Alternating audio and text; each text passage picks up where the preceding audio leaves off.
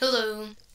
Um, this is my second video of the day. Um, I didn't want to leave it off on just learning how to invite your bot, so I've decided to teach you up, uh, teach you how to set up your index.js. So, um, here we have our bot, and basically, we're gonna go to bot,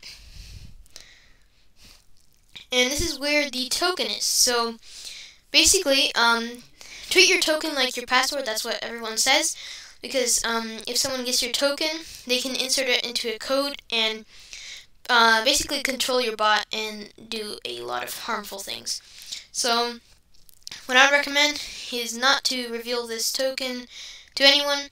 Um, I'm going to reveal it because, first of all, I don't care about this bot, and second of all, I'm probably going to regenerate it after this video, so it's going to be useless. So, let me copy this. And let's start um, setting up our bot, shall we? So let's go to Visual Studio. So this was my test bot from yesterday. So let me open up the current one, test bot 2. So that's the one that we are going to be doing right now. So let's wait for this.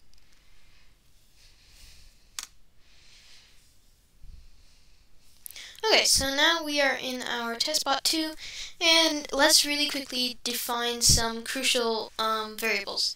So the first one that we are going to be defining is, um, we're going to type in const config is equal to require, oops, require, and then the name so we're trying to require config, so dot slash config js wait no dot json so um let's actually create our config dot json. So let's create that let's call it config dot json. And now we are going to set up our config dot json. So we are going to open up some brackets. We're going to do token um and then and then we're also going to set up our prefix here. So I'm pretty sure you might have to... Yeah, I'm pretty sure you're supposed to put quotation marks around this. So let me just do that really quick. There we go. Okay, so now this is where we're going to paste in our token. And this is where we are going to define our prefix. So let's make our prefix this because that's probably my favorite one. I don't know why. I just um I just really like typing that before a command. So um now we've created our config and we have required it. So now um in the last episode we downloaded discord.js. Um, if you are new to the series, you download discord.js by opening a terminal, new terminal, and then typing in npm i, so npm space i space discord.js. Um, so I'm not going to actually hit enter, I'm just going to show you how to type this just in case. Um, okay, I typed in, it just has to load. And that's what you can type in, you're going to hit enter and it should um, basically um, download it. So now let's define um, and require our Discord variable. Discord is equal to require, and then discord.js. So that's what we installed in the previous episode. And we're going to create a const client, or you can name this bot, but if you're following this um, this tutorial, then um, name it client so that you don't have to change anything. Discord dot client. Wait, what? Why did it just do that? Client, and then parentheses, and then semicolon. So now we've officially defined our variables. So now let's do client.on, and then quotation marks ready, and then now we're going to async this, and parentheses, arrow sign, we're going to open up some brackets, console, and we're going to console.log our ready message that it will send when we are ready. So I am online um, and ready to listen to commands. I, I have no idea. Just put whatever you want. Um, and now, um, let's hit enter, client dot on, and now we are going to define our message equal no async, and then parentheses message. Um, most tutorials use message spelt like this, but um, in my tutorials I'm going to use MSG because that's how I learned it. Um, and I think it's just easier to type. But just keep in mind if you're using other tutorials and it says, for example, message is not defined, um, just just switch everything to MSG instead of message. Or, or you can just make this as message and then whenever I say do, um, so for example, if it's message.channel, oops, message dot, this is so annoying. That autocorrect, message, message.channel, you know, I'm not, I'm not even to try. Okay, well, well, anyways, you got the point. Um, if you want to use MSG or message. So now let's get rid of the space. And now we're going to do those arrows. And now we are going to open up brackets. Um, if message.author, again, um, this is where you will implement your MESSAG or MSG, message.author.bot. And this is basically telling the bot that if, um, if, oops, let me do something right here. Comment's supposed to be outside, yeah. So if the message author is a bot, then we're just going to ignore that. And now if message not guild, so this is telling the bot that if a user is not in a guild, then just ignore them. So now let's um, define our prefix, prefix, and we are going to fetch this from our config file. So config.prefix, so we're going to be calling our prefix variable that we defined in config. And now let's just do a semicolon. So now after that, we're going to do if, um, and then explanation point message dot content dot too low, nope, not too local, lowercase, and then parentheses dot starts with, and then prefix. So we're basically saying that um, if this does not start with our prefix, then we're just going to ignore it.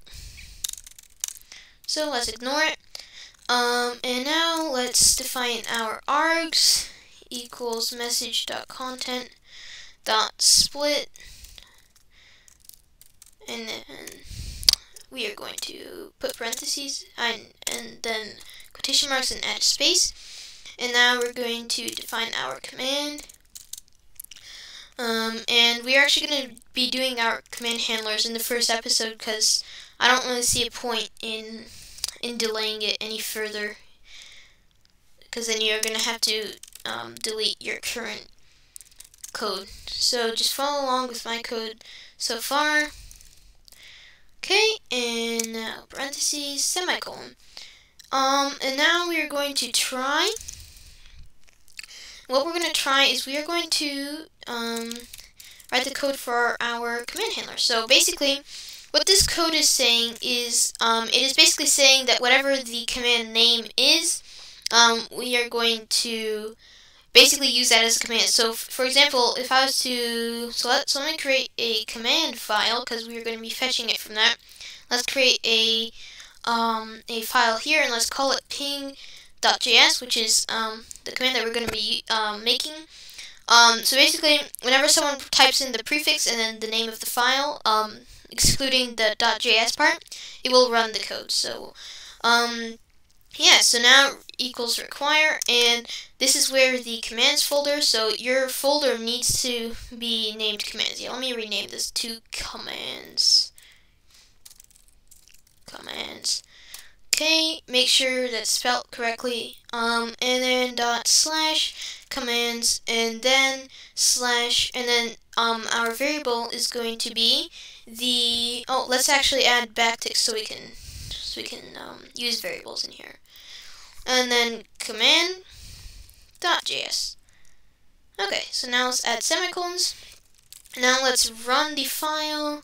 File dot run client message args.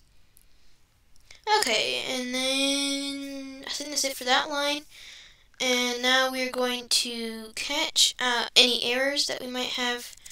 Catch, and then, oops, catch error. Um, let's open up some brackets and let's warn that error so that our bot does not crash. Console.warn and then the error. So, um, after that, you're just going to type in the very last thing, client.login, and then config dot token. So, you're going to log in with this token that is right here. So let's add our um, our semicolon, and now let's go edit the ping command. So um now let's go to our ping command in commands, and let us start getting into the code. So let me check something really quick.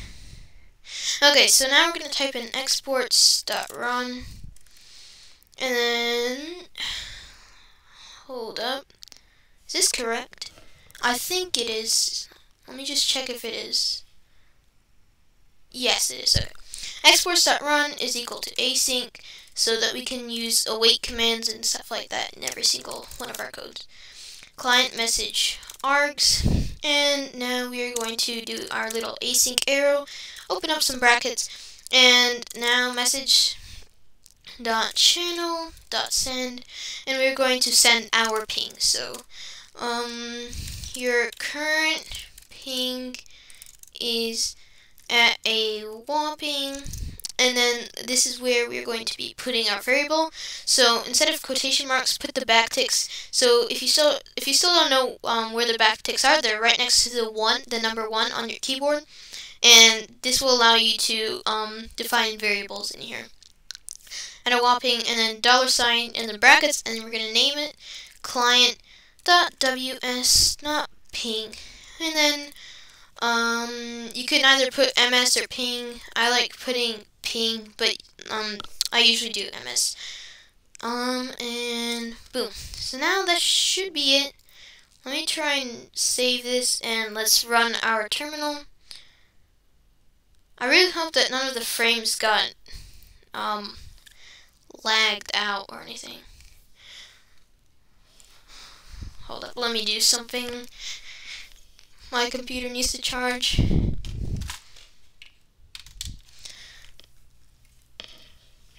Okay, if frames went out for a bit, then it's because my computer is garbage. But, um, yeah, let's wait for this to load and we can try out our new commands.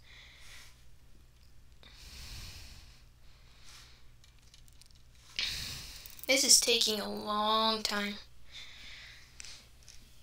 Excuse me. Okay, finally. Okay, so now to start up your bot, you're going to type in node space dot. This is taking so long to load, you're going to hit enter. Let's see if we get any errors. I don't think we'll get any.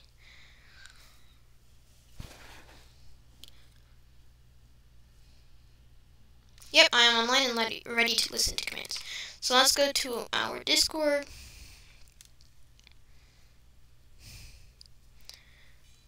Oh, so now let's go to our test server.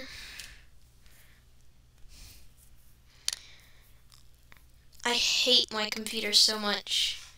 Okay, so now, yeah, it's online, and we can try our ping command. So type in your prefix, ping, and it should send. Your current ping is at a whopping 85 ping. If you want to make it look cooler, you can go here um, and put a slash, and then there we go. Let's save this. Um, let's try this again. New terminal. Okay. And let's try this again. Yeah, and now it's sort of formatted. If you don't want it like that, then you don't have to do that. Um, and yeah, I think I'm, I might do a lot of these videos today because I have all my resources and I don't really want to wait. Um, so I might do warn or um, just some simple things before warn and mute and so on. Um, so yeah, this is goodbye. Again, if you have any problems, go to my support server, Joey's Joke, um, and I will try and help you with your problems. Um, I hope you enjoyed. If you did, don't forget to subscribe. Um, like I, I actually lost like a bunch of subscribers. I don't know why, but I did. And um, yeah, I think that's it. Don't forget to like as well if you did enjoy. If you didn't enjoy, dislike. Uh, leave a hate comment. And yeah, bye. Oops, wrong tab. Bye.